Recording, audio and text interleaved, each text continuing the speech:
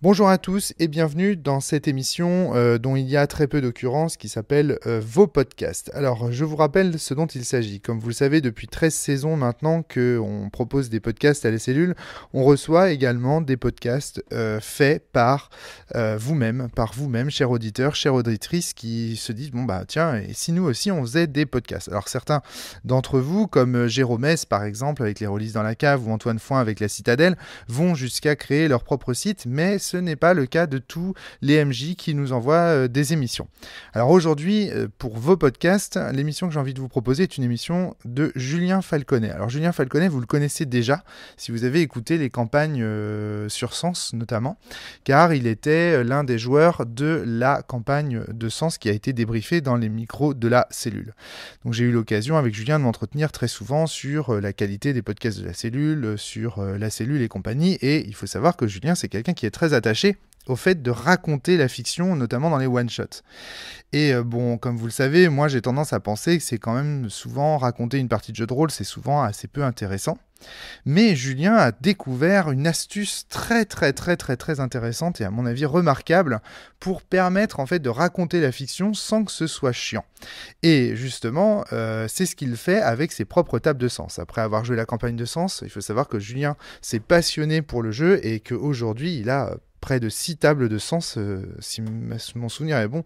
Ça se trouve, il en a encore plus euh, à l'heure où je vous parle.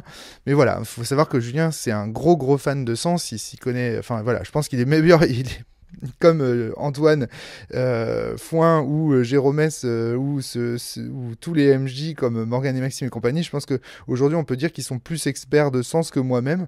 Donc Julien, vraiment, s'il y a bien quelqu'un à qui je fais confiance pour maîtriser cette campagne, éventuellement patcher les quelques scénarios qui seront dysfonctionnels, etc., c'est bien Julien. Et là, en l'occurrence, il a trouvé une solution, je trouve, remarquable pour faire en sorte que ces joueurs euh, euh, puissent partager euh, leur fiction. Alors, Julien avait trouvé très intéressant, et d'ailleurs Amir, Audrey et Antoine également, le fait que des podcasts soient diffusés sur leur propre campagne. Ça leur permettait, avant la partie, de réécouter, ils avaient l'habitude de réécouter en fait le podcast qu'on avait enregistré ensemble pour se remettre dans le bain et repartir en fait dans le scénario, dans l'épreuve suivante, avec la connaissance de ce qui s'était déroulé avant, grâce au podcast qu'ils avaient enregistré sur la cellule. Et donc il s'est dit, tiens, pour mes tables de sens, eh bien, je vais faire la même chose. Je vais prendre un petit zoom et je vais enregistrer euh, les parties, enfin, je vais enregistrer le, le débriefing que les joueurs font après les parties. Et en fait, il a, il a, il a organisé ça sous la forme d'un rapport, c'est-à-dire que le commandant de la team, euh, le, commandant de la, team qui, qui euh, la team de bug qui, qui, affronte euh, les, épreuves de sens, va être amené à faire son rapport à Gladius et donc à raconter qu'il s'est ce qui s'est passé pendant la partie, en compagnie évidemment des autres membres de la team ce qui donne en fait une succession. Alors là, ce qu'a fait Julien, c'est qu'il m'a proposé un enregistrement d'une succession de débriefings comme ça de toute la campagne de Sens Renaissance en fait. C'est-à-dire qu'il a enregistré une seule et même table, euh, tous les débriefings, euh, il a enregistré tous les débriefings d'une seule et même table euh, de chaque épreuve. Et il les a coupés et il les a mis bout à bout. Ce qui va vous donner en fait un aperçu par des débriefings extrêmement rapides de la fiction de chaque partie de Sens, de toute la campagne de Sens Renaissance. Alors, euh, je veux dire, euh, souvent on s'est demandé comment présenter euh, Sens Renaissance et l'intérêt de Sens Renaissance à travers des émissions. À la cellule, on s'est souvent posé la question, mais comment partager notre passion de sens à travers des émissions?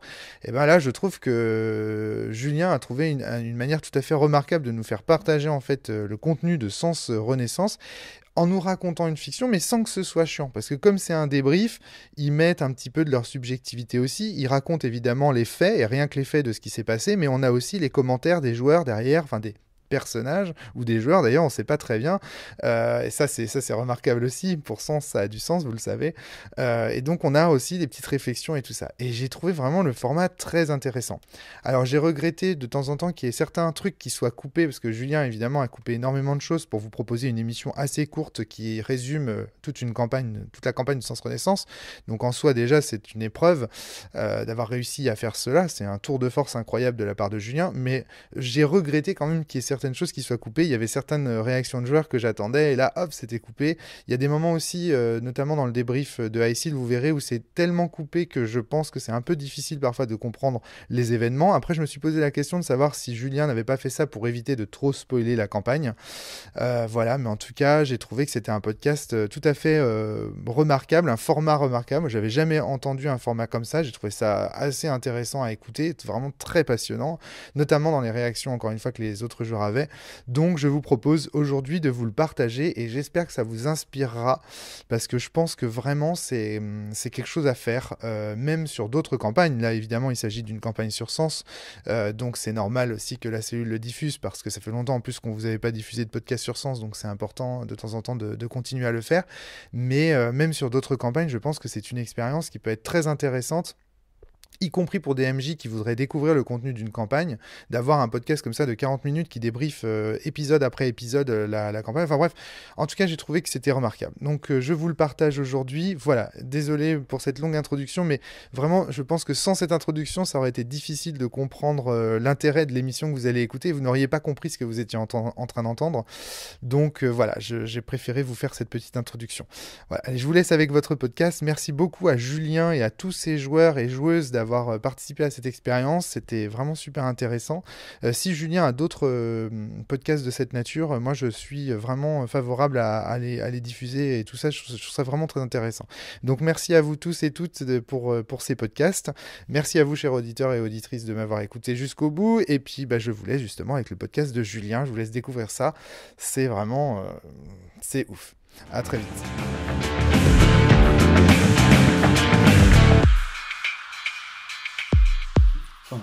Soyons fous.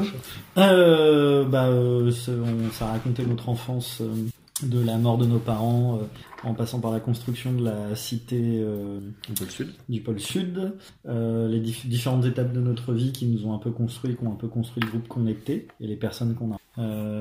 certaines mises en situation, même un peu pour tester si fidèles les uns aux autres ou en tout cas tenter de nous manipuler. On voit qu'il est après. Euh, on a on a tous choisi plus ou moins euh, des voies et des directions différentes. Et, euh, et là, euh, justement, comme tu le disais juste avant, on en est arrivé à la grande révélation qui était qu'une partie de notre combat contre l'Empire se passerait aussi dans l'univers vertueux L'ombre monde. L'ombre monde. Ok. Quelqu'un veut compléter Kevin On a aussi pu se familiariser avec tout l'univers tout l'univers de la rébellion, de voir un peu les différentes strates politique mais aussi euh, sociale avec les ouvriers, les militaires, etc. les différentes interactions qui étaient liées à ça. Et on a pu aussi un peu voir à quoi ressemblait l'univers euh, général avec justement un empire très fort, euh, dictatorial et des gens qui aient de survivre à ça par tous les alors déjà, on a commencé par une session, on va dire, de test de nos resplioïdes. Attention au bruit sur la table, ça... On a fait du coup notre session de test de resplioïdes où on a combattu une sorte de de robots chars euh, militaires, qui fut un moment euh, assez euh, stressant, mais on s'en est bien sorti en, combinant nos forces, avec plus ou moins de succès en nous. Donc après avoir réussi à battre ce robot, on nous a affecté à notre première mission qui a été de patrouiller dans la ville vers les docks. Après avoir le commandant de l'équipe. Capitaine. Général. On a vu des ombres sur les toits qu'on a suivis et on a vu que c'était deux petites filles. Donc la petite Sally qui est très fan d'Altus et la petite Emily qui a euh, voulu se suicider suite à la lecture d'un poème euh, pour le moins étrange. On l'a raccompagnée du coup chez ses parents, on a essayé d'en savoir plus. Ça nous a amené euh, à l'hôpital où on a appris qu'il y avait une recrudescence de suicide. Et grâce à Sarah, non pas Sarah Connor, euh, on a pu rejoindre euh, le bibliothécaire euh, aveugle qui nous a parlé d'un poète un peu particulier donc dont on connaît pas trop d'informations. On connaît son nom mais on sait pas vraiment si c'est un pseudonyme ou pas. On sait juste qu'il écrit des poèmes assez morbides et avec des informations assez étranges. On s'est arrêté là. Dans la lecture orale n'a pas Mais ouais, mais par contre la, lecture des gens, visuelle. Mais visuellement, de par sa manière d'écrire aurait un impact. Wilfried Gabriel encore. Capitaine Altus, rapport. Alors, euh, donc, nous avons repris l'aventure euh, chez le, libraire ou bibliothécaire, euh, qui nous a donné quelques informations sur le, suspect, donc à savoir qu'il avait eu un accident de moto et qu'il avait des problèmes d'ascenseur dans, sa tour. Grâce à ces deux indices, on a pu mener l'enquête pour trouver notamment, enfin, trouver les garages avoisinants et réduire le- le champ de recherche à deux tours parmi les. Euh, et parallèlement, on a aussi trouvé qu'il avait été censuré dans plusieurs euh, magazines. Euh, après s'être rendu dans un des, enfin, dans multiples garages, l'un d'eux nous a décrit le suspect ainsi qu'une plaque qui nous a permis de remonter à un nom Midri Aquafos. Euh, et donc, Nowhere à l'envers. Qui habitait à Nowhere.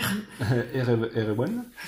Euh, donc on s'est rendu à la tour euh, la plus proche. Enfin, après avoir euh, important, après avoir fait notre rapport à Serena, euh, on s'est rendu au 60e étage de la tour la plus proche du garage pour finir par découvrir donc le suspect chez lui au milieu d'une salle très étrange et ma- malaisante avec des papiers partout, des, des questions un peu comme l'antre d'un homme fou. Euh, donc il était albinos et s'est caché le, visage décrit et euh, couru vers la fenêtre pour euh, sauter et disparaître malgré notre euh, incursion dans l'ombre mur pour le retrouver. Alors un point que j'ai oublié, que je rajoute tout de suite. C'est toi qui as ouvert la porte, Guetta, t'as senti ton armure de philonite qui réagissait en sa présence. Ah, d'accord. Et euh, il n'y a pas que la pièce qui était malaisante. hein. Même lui, à le regarder, il y avait un Mm. truc dérangeant. Bah on sait pas. Il a dit que la philonite ne réagit qu'aux bugs. aussi. Ah, Ah, ah oui, effectivement. Ah, C'est ce qui vous a été dit en tout cas. ah. Détail À votre intéressant. Des connaissance, intéressant. à votre connaissance, Mais qui correspond euh, aux archives. Bah, On, c'est- on est d'accord ça- que la réaction Enfin- à un bug et un immortel est pas tout à fait la même. Non, c'est la même. C'est la même. Non, parce que nous, notre théorie, c'est que c'était un immortel, mais maintenant. euh, Bah, Ça, ça sent ça, ça l'immortel être- à, plein nez. Euh, donc ensuite, Bah, on connaît pas, hein. On sait pas combien il y a d'immortels, hein, ça nous a jamais été. Ça peut pas On être un bug. On pas. visiblement, le, le Grand Conseil il a déjà, a déjà eu affaire à lui avant euh, la guerre. ah, puis il est on un sait peu pas- vieux on pour être un pas bug. si on est les premiers. Enfin, si, pas de notre génération On bug. pas si on est les On premiers bugs. si on On est sait les pas si on premiers est les premiers bugs. Et il peut être et un bug et un immortel. Bon, bref, donc après l'avoir euh, non, non rattrapé par la fenêtre, on a fait, on a rappelé le central. Il y a une deuxième euh, squad qui est venue et on, on a été rapatrié à la base pour nous faire un débrief et nous, général. chaleureuses félicitations. nous, nous féliciter et nous apprendre pas grand chose. donc euh, Altus a été euh, convié euh, pour une mission de, de réouverture d'avant-poste euh, qui s'est bien passée, mais sur le retour on a croisé des ennemis. J'ai donné l'ordre de rester discret pour les observer et un soldat a désobéi et j'ai un petit peu cassé les bras. Euh, et c'était la, la bonne décision à prendre. hein. Dire, On voulait rester discret, mais bon, tant pis pour bras. Euh, et donc, euh, il y a- depuis que je suis rentré, il y a une, une rumeur qui est, qui est démarrée et les, les soldats me, me craignent. Pour raison que j'ai. Alors moi, c'est un peu Alama. plus sympa quand même. Bonne- bonne Ok. Elle a pas cassé. Donc, pour Alama, euh, elle s'est beaucoup questionnée sur tout ce qui concerne les euh, immortels et compagnie, vu que c'est un peu, ça fait partie un peu des théories qu'on a concernant notamment l'IVGA. Euh, du coup, elle a fait pas mal de, enfin, le peu d'infos qu'il y a sur qui touche à la mortalité, les immortels et tout. Et euh, ça l'a pas mal questionné et perturbé. À la suite de ça, bah, elle, est quand même pas mal sortie avec les bugs ses amis et aussi les, les autres bugs. Elle a aussi eu une discussion avec euh, Soren un peu sur toutes ses interrogations quand il est passé à la base. Et euh, elle a déjà voir ses amis, ça lui a un peu remis du baume au cœur, et aussi voir la petite euh, Emily et ses parents. Et depuis, d'ailleurs, elle s'est dit qu'elle allait un peu s'occuper des nouvelles générations pour pas qu'ils sombrent un peu dans le désespoir comme ce qu'elle a pu voir. Et elle donne des de musique à des enfants. Et elle soutient pas mal Gabi, euh, qu'elle voit pas très bien en ce moment. Disparition. Alors, Gabi. Euh, il se retrouve énormément hanté euh, par ses cauchemars, notamment à cause de Wilfried. Euh, du coup, il trouvait un peu du réconfort dans l'amitié que propose Michel en allant dans des bars obscurs. Michou, merci Michou. Pour aller faire des jeux d'argent et boire de l'alcool. Évidemment, ça va un peu euh, Gabi, parce qu'il ira mieux et du coup, il va se remettre un petit peu dans des missions, notamment euh, dans des campagnes marques participer à la propagande, mais aussi être énormément présent euh, sur les différents événements que fait les bugs, notamment au café, Propagande pour, euh, la révolution. pour la Bien révolution évidemment. et pour la réputation des bugs. Il va, il va également beaucoup assister Maria, et donc Ok. couper de quelque Et donc, euh, au milieu de ces entrefaits, l'équipe est convoquée par Gladius Sword, qui euh, les envoie en mission au pôle Nord. Euh, Gita, qui est à ce moment-là en train de visiter Sydney, sera embarquera au bord d'un- Sub-Zeri qui viendra à la rencontre du Sub-Zeri dans lequel se trouve le reste de son équipe, le Death Crawler du capitaine Liz. Et arrivé sur place, il recevra un briefing de Altus, du capitaine Altus, qui lui expliquera le contenu de la mission. Capitaine Altus, votre brief. Euh, donc nous avons été euh, euh, briefés par euh, Gladius pour euh, aller enquêter au pôle Nord suite à des disparitions. Donc ça c'est notre briefing officiel, euh, comprendre pourquoi ces, ces disparitions ont eu lieu.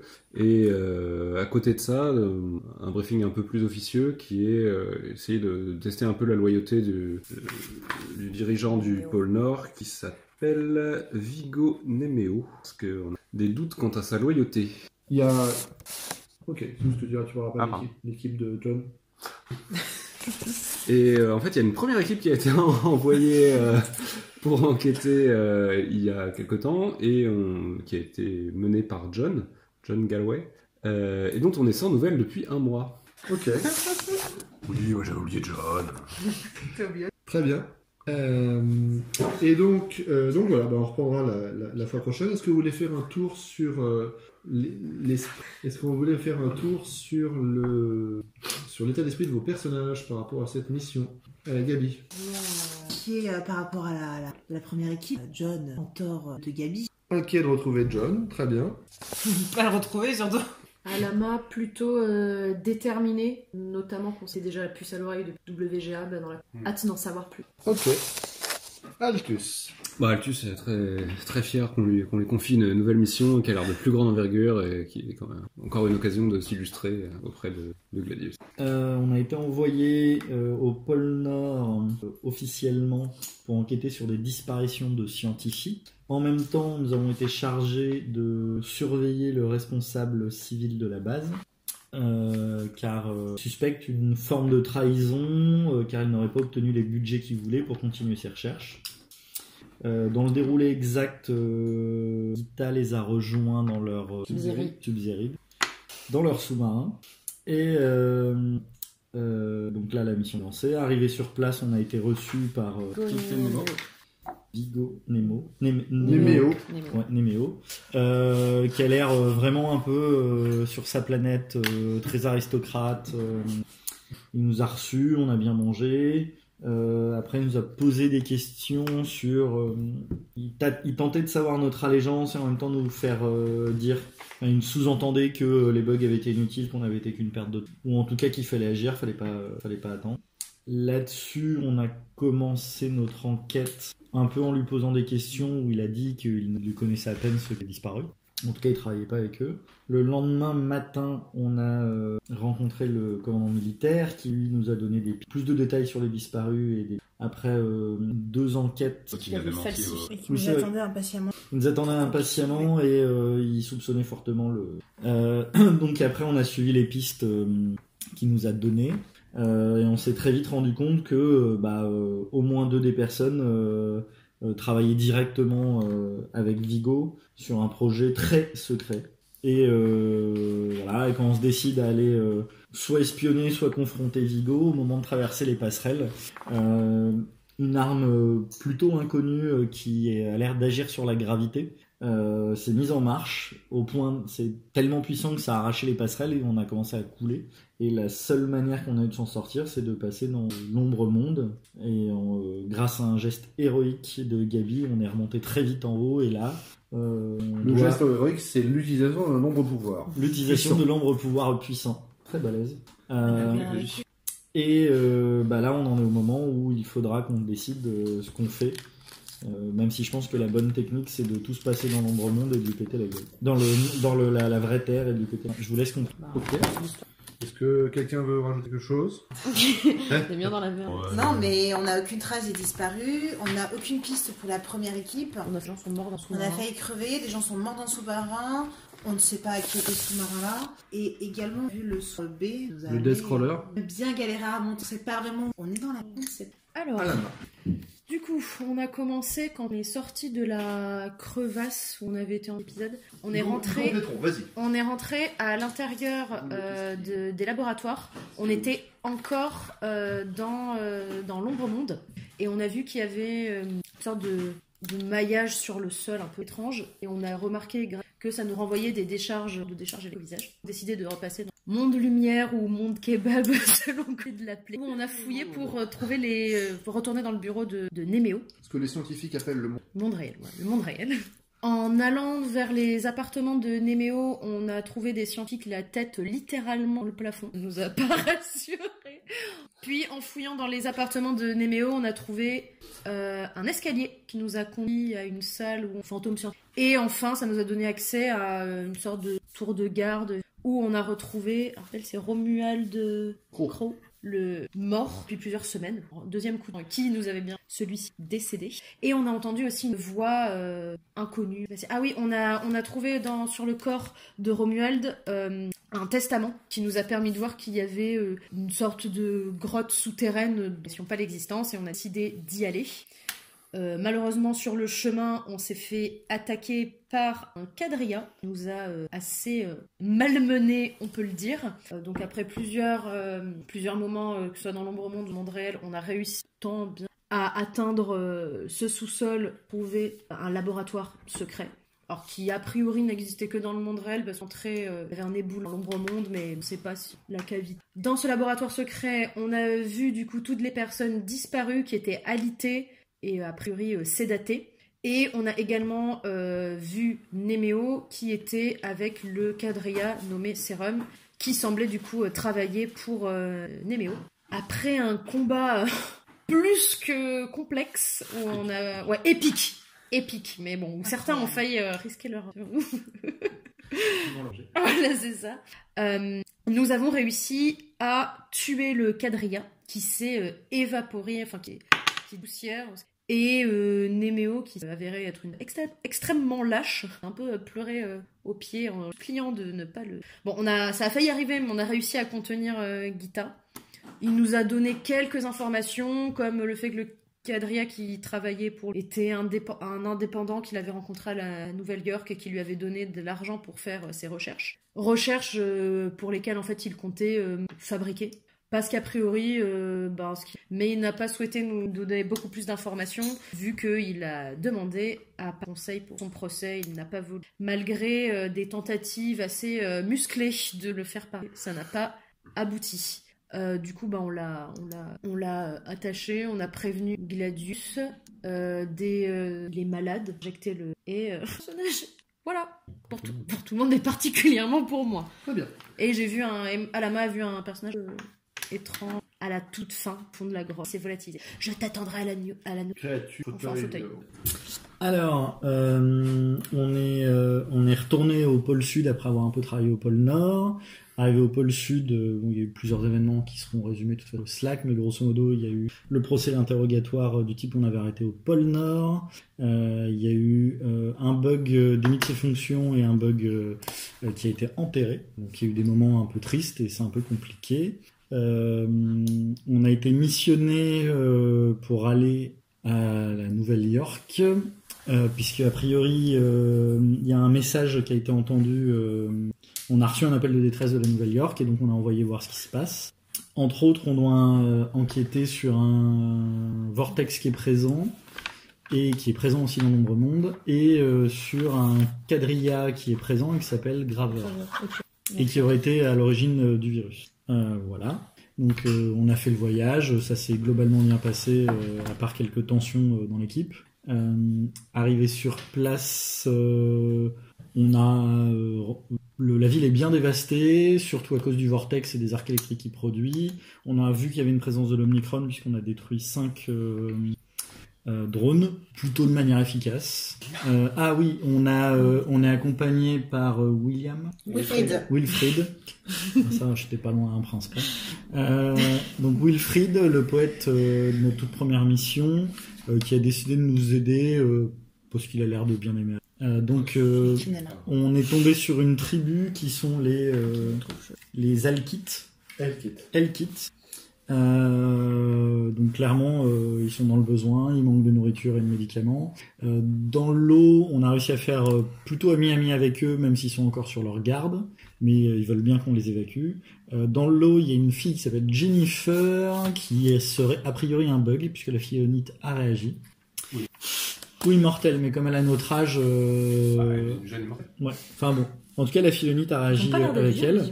Et elle a l'air d'être plutôt maline parce que euh, c'est elle qui, euh, qui a réussi à leur envoyer le message. Euh, donc euh, voilà, on n'a eu aucune perte avec nos hommes, tout va bien. Euh, et là, là, on a appris qu'il y a environ euh, entre environ 3000 personnes, 5000. 5000 personnes euh, qui seraient là et que les tribus sont en guerre les unes avec les autres. Donc ça sera peut-être pas facile de tous les évacuer. Il faut qu'on définisse si euh, on appelle le QG pour demander euh, euh, tout, Ah, tout ce qu'il nous faudrait pour pouvoir les évacuer. Mais euh, je pense. Et là, on se dirigerait vers le vortex pour essayer de d'enquêter sur le vortex et de rencontrer. euh, Oui, nous avons donc rencontré les Elkites, euh, après avoir échangé un peu et découvert la, la nouvelle bug.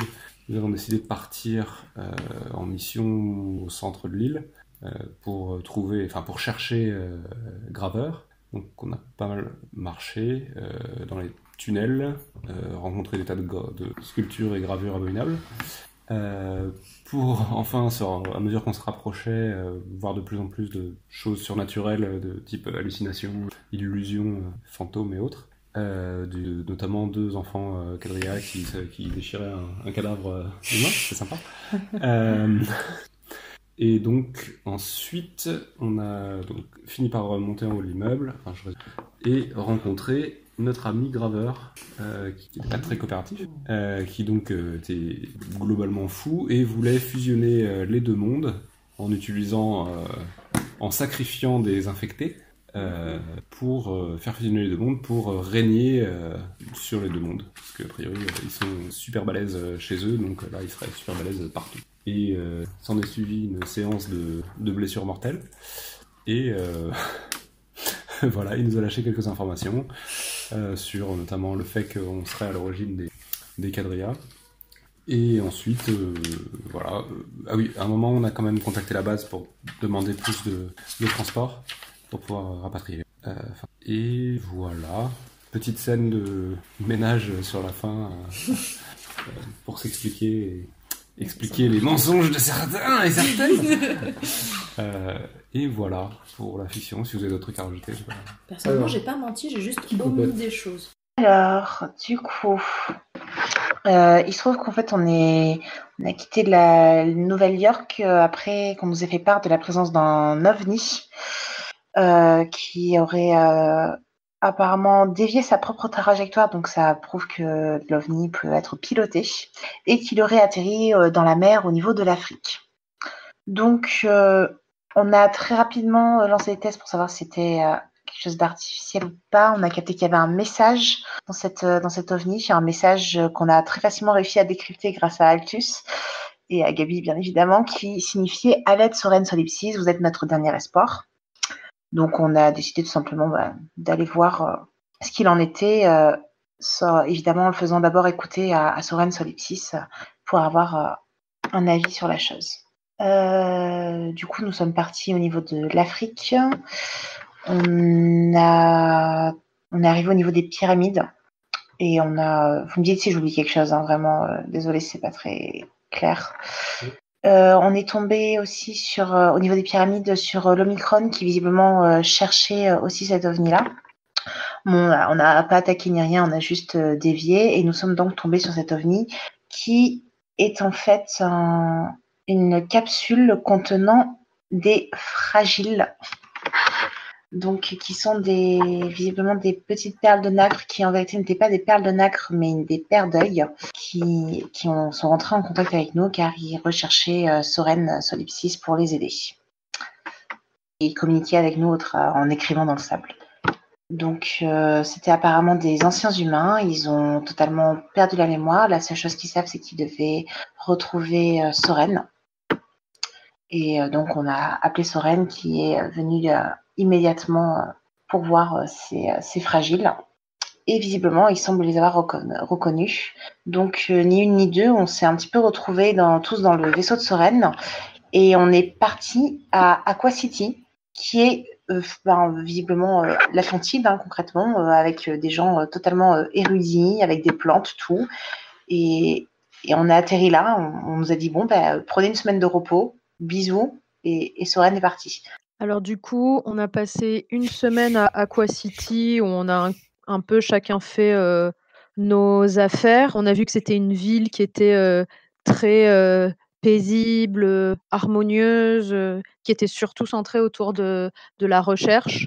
On a quand même vu en fouillant un petit peu qu'il y avait quelques quelques petites dissonances par-ci par-là, quelques personnes notamment qui, se, qui sont un peu sceptiques par rapport à, certaines expériences de, de Soren, notamment par rapport à Asilis, qui est une, immortelle euh, suspendue au dôme et qui n'a aucun sens et sur lequel il fait des expériences. Et on a appris du coup que certaines personnes trouvaient que c'était un peu euh, étrange ou sordide mais c'est une minorité et de manière globale, la ville est très paisible.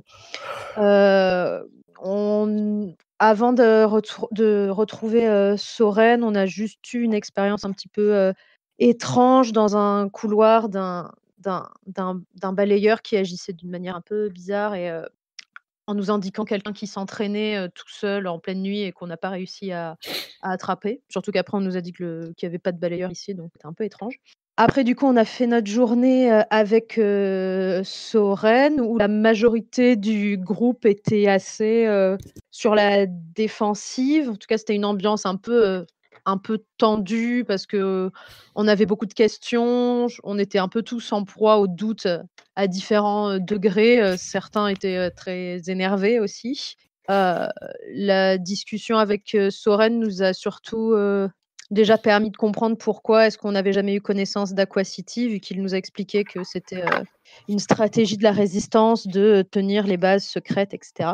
Euh, on a aussi appris un peu la, vie de Soren, en tout cas ce qu'il a bien voulu nous en, nous en, nous en dire. Donc on connaît un petit peu mieux sa, sa trajectoire de vie et ses histoires personnelles. Il nous a aussi partagé certaines euh, hypothèses qu'il avait par rapport à sa condition d'immortel et à celle des, des autres immortels. D'ailleurs, on a découvert l'existence de d'autres immortels encore, et notamment le fait qu'ils pouvaient être reliés à des runes. On en a aussi un peu plus, plus appris sur bah, les recherches qu'il avait fait avec Mifo sur le fonctionnement de Cosmo et, et, et Rebirth. Et sur la philonite, enfin, on a, on a un peu pris, appris des choses de, de fond, mais on a aussi appris qu'il y avait bah, beaucoup de choses qui étaient encore secrètes, soit parce que Soren n'a pas les réponses, soit parce qu'il y en a certaines qui ne veut pas nous dire pour plein de raisons. Et, sur la fin, bah, il s'est occupé de nos armures. Alors, donc on a tout a commencé par une réunion au bar pour discuter un peu des, faits passés. après moult discussions alcoolisées, on a décidé d'abandonner l'idée du cambriolage pour se rabattre sur la, visite à Zélise. et donc là, tout le monde, sauf moi, est allé en volant ou attrapé par quelqu'un qui vole jusqu'au sommet de, d'Aquacity. Euh, après quoi, un événement assez troublant et incompréhensible est, arrivé qui a fait que euh, Gita a vu des choses après avoir touché la Azilis. Euh, une vision de, dans une université, quelque chose de similaire à Azilis et un homme, le balayeur dont j'ai oublié le nom. Classis. Classis. Classis ah. Nédémon Sérénade Classis. Ah oui, d'accord. C'est les noms de famille aussi. Euh, voilà, donc suite à quoi on a décidé d'aller euh, essayer justement de retrouver Nedemon dans la, dans, la forêt, euh, là où il chante. Et donc on s'est mis, nous, à faire de la musique avec lui pour l'amadouer et communiquer avec lui, sans plus de succès que ça, je dirais. et donc voilà, ensuite, le jour suivant, arrivée de tous les membres du conseil, dont euh, le, membre de Sydney, qui est un, showman sans conteste. Euh, et euh, donc début de l'Assemblée qui est interrompu par un débarquement massif de Cadria, qui se sont mis à taper, taper tout le monde. Et donc on a combattu vaillamment, mais malgré tous nos efforts, Gladius est mort, euh, tué par un quadrilla. Et euh, Alama s'est retrouvée presque morte, mais projetée dans l'ombre monde.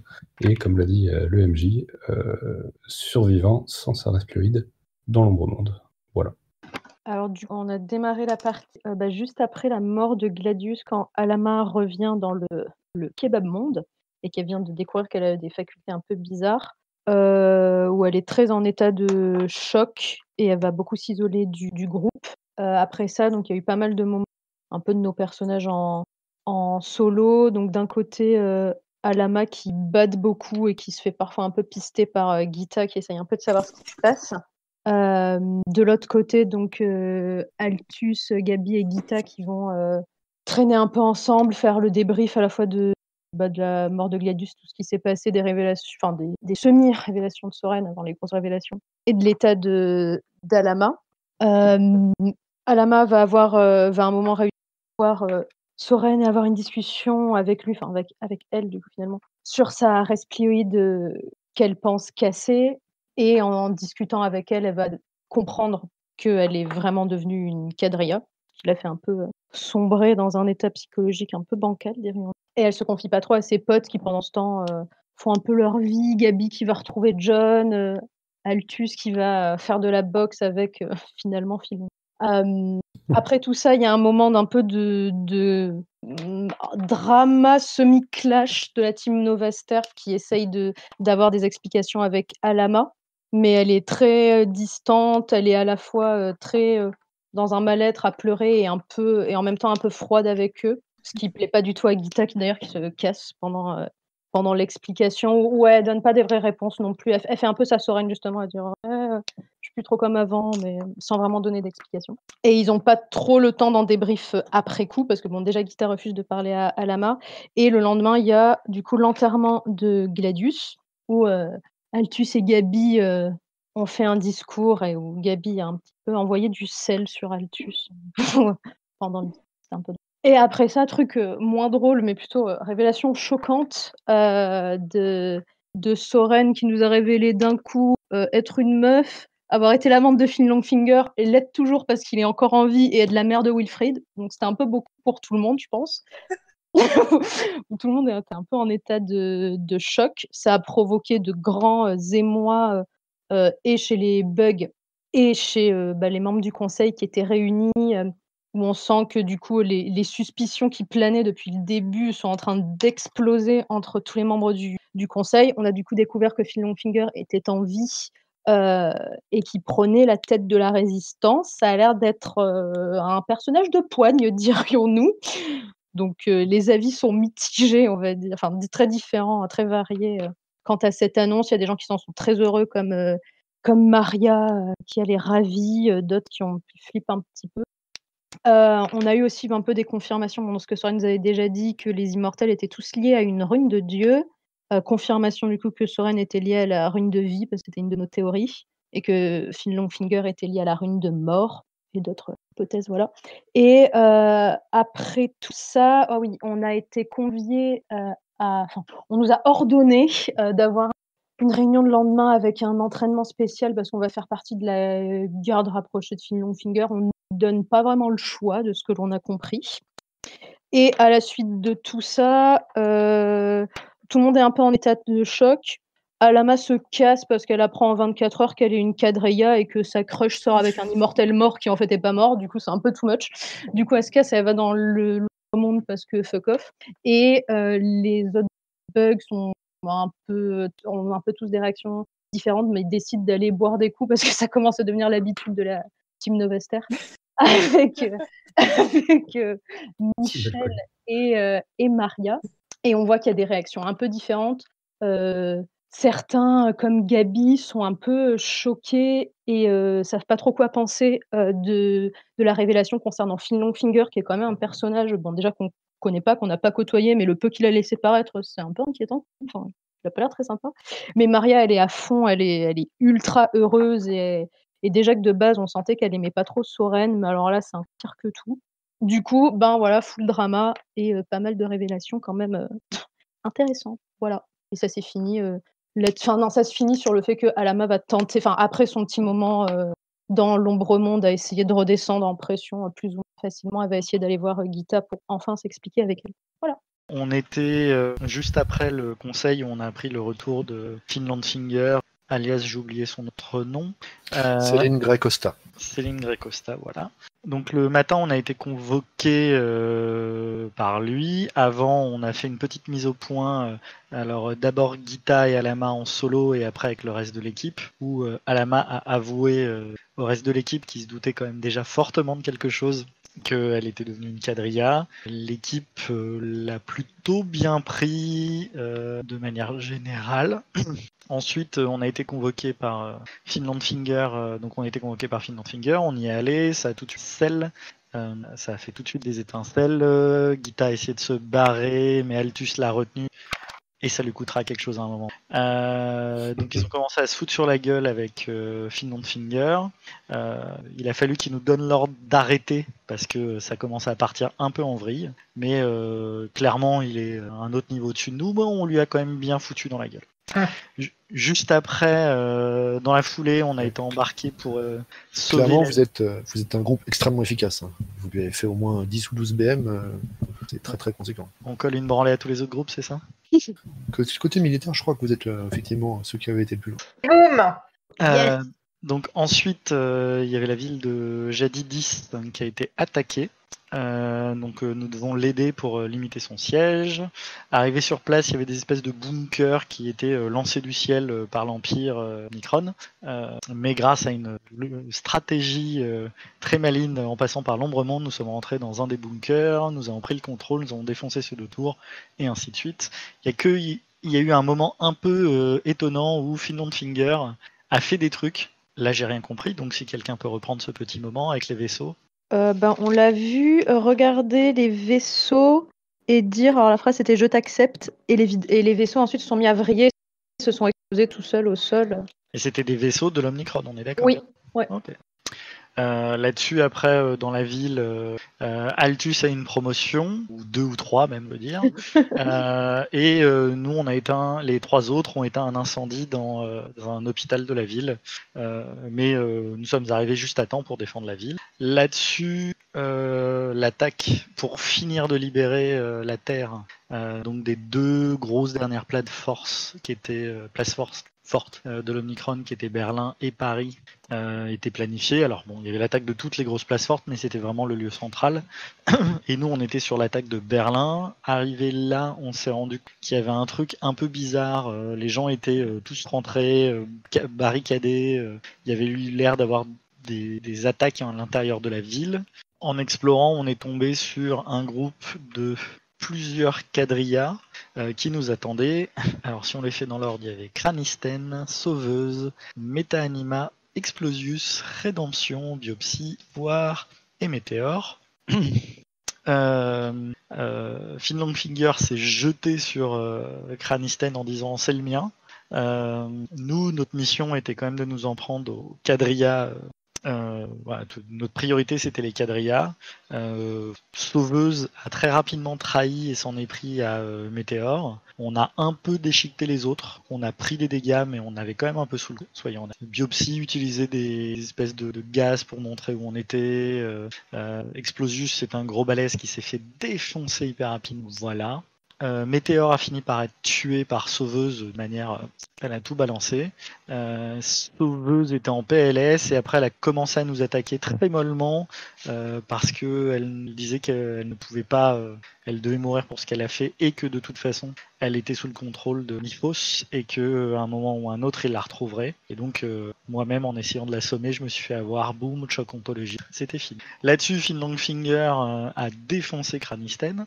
Euh, bon a priori c'est quand même un peu défendu. Euh, Il y a eu euh, un petit monologue de Cranisten qui nous a expliqué que en fait depuis le début ils étaient de notre côté et qu'ils étaient juste là pour nous aider à s'entraîner contre les, les quadrillades de Cosmo.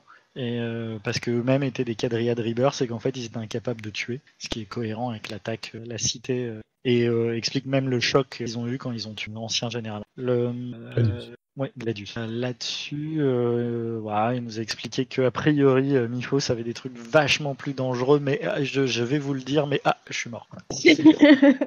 Là-dessus, euh, les nuages qui recouvraient la Terre ont commencé à tout disparaître et donc euh, la Terre a commencé à reprendre a priori un aspect un peu plus euh, comme il aurait dû être. Et euh, donc la Terre est libre de l'Empire et de l'Omnicron. mais les plus grands dangers ont l'air de se profiler à l'horizon.